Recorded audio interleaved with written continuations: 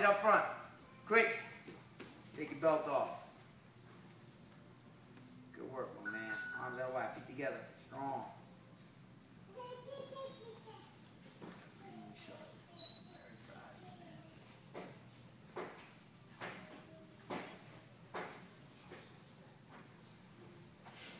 Step back.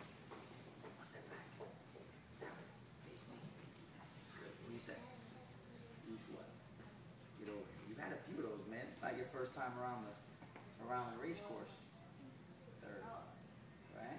Remember to say what you say? I'm really proud of this guy, man. Joshua and I talk every week about all of our students that are testing for their next belt. And when we got the Bulldog, we were like, is he ready for his blue belt? And we were both like, no doubt about it, man. Every time we watch him when he's sparring or he's grappling or if he's in his core class, we can say, wow.